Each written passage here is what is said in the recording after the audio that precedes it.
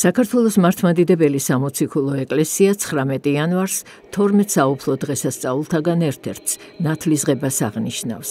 დღესასწაულთან დაკავშირებით ყოვლადწმინდა სამების სახელობის საპატრიარქო ტაძარში საზეიმო წირვა აღევლინა. ღვთისმსახურება საპატრიარქო ტახტის მოსაყდრემ სენაკისა და ჩხოროწყუს მიტროპოლიტმა შიომ აღასრულა. თანამსახურებდნენ მარგვეთისა და უბისის ეპისკოპოსი მელქისედეკი, სამების საპატრიარქო ტაძრის წინამძღვრის მოადგილე არქიმანდრიტ ილია ნასიძე და სხვა სასულიერო პირები. სადღესასწაულო წირვის დასრულების შემდეგ საპატრიარქო ტახტის მოსაყდრემ სენაკისა და ჩხოროწყუს მიტროპოლიტმა შიომ წყალი აკურთხა. აღსანიშნავია, რომ წყლის დიდი კურთხევა, ანუ დიდი აიაზმა, ამ დღეს ყველა მოქმედ ტაძარში სრულდება.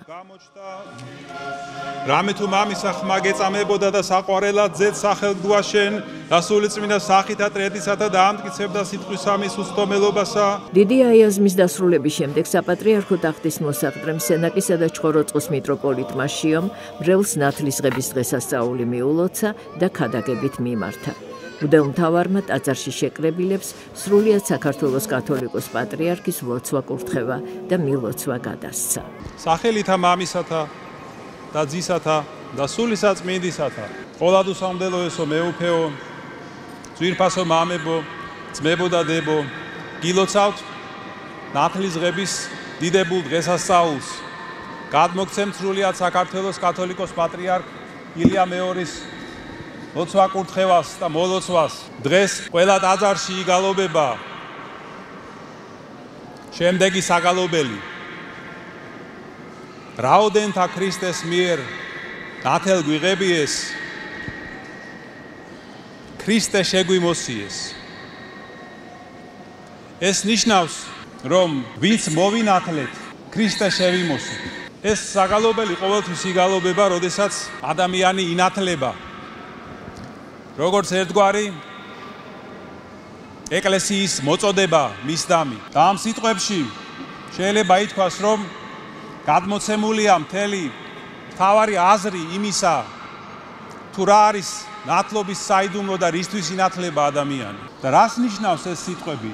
რას ნიშნავს ქრისტეს შემოსვა? რისთვის არის ეს საჭირო? და როგორ ხდება ეს? ეს არის საჭირო ჩვენი სულის გადარჩენისთვის და სულის გადარჩენა რაში მდგომარეობს მდგომარეობს იმაში რომ ჩვენს გულში შემოვიდეს უფალი იესო ქრისტე და ცოდვა დაამარცხოს ჩვენს გულში. იმიტომ რომ ადამიანს ღვთის შეწევნის გარეშე ცოდვის დამარცხება არ შეუძლია. ჩვენ შეგვიძლია ძლიერი ნების ყოფის თუ კარგი აღზრდის წყალობით ზოგიერთი ცოდვა არ ჩავიდინოთ. თავი შევიკავოთ მათგან. მაგრამ ცოდვის როგორც ჩვენი სულის თვისების დამარცხება და ჩვენი გულიდან წარხოცვა ადამიანს არ შეუძლია თავისი ძალით. იმიტომ რომ როდესაც თავდაპირველად ადამიანმა შესწოდა და განშორდა ღმერთს, მისი ბუნება დაზიანდა. და ეს დაზიანება გადაეცა შემდგომ თელ კაცობრიობას. და მას მერე ყოველი ადამიანი იბადება ამ დაზიანებული ბუნებით. და ეს სენი იმდენად ძიმეა, რომ ადამიანს არ ზალუს თვითონ საკუთარი თავის განკურნება. მაგალითად, შეუძლებელია, რომ ამ პარტავანი ადამიანი თავისი მეცადინეობით და შრომით გახდეს თავმდაბალი. ან კაც მოძულე და შურიანი ადამიანი გახდეს მოსიყვარულე ან მრისხანე გადაიქცეს შვიდად მატყუარა ადამიანმა შეიძულოს ტყუილი და შეიყვაროს სიმართლე. შინაგანად თავისი გულით.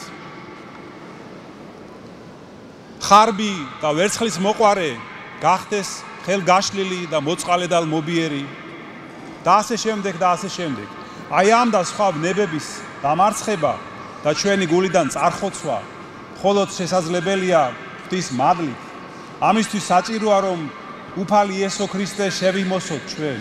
ამიტომ იგალობება ეს საგალობელი. რომ ქრისტე თავისი მადლით შემოვიდეს ჩვენ გულში და წარხოსოს ჩვენი ცოდვები.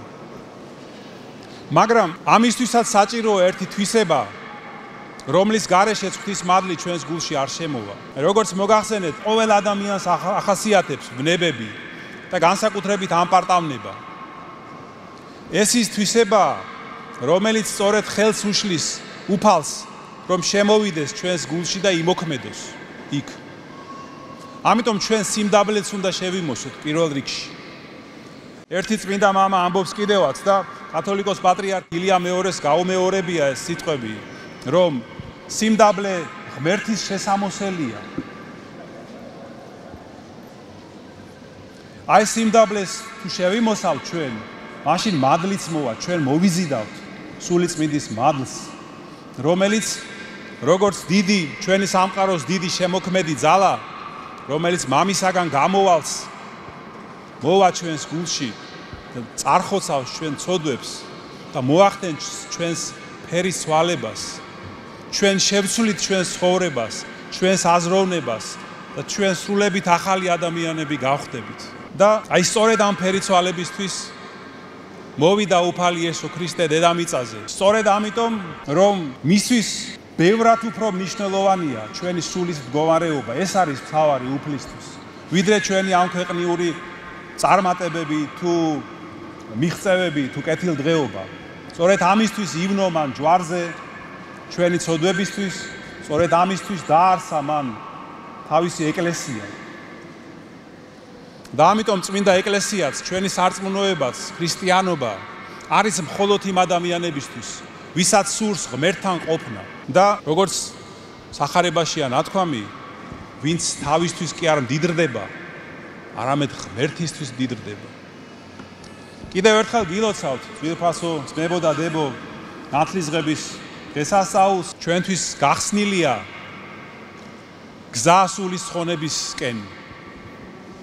და წმინდა ნათლისღებას შევყავარ ჩვენ ეკლესიაში. და ეს ვევედროთ უფალს რომ შეგვაძლებინოს რომ ქრისტე შევიმოსოთ.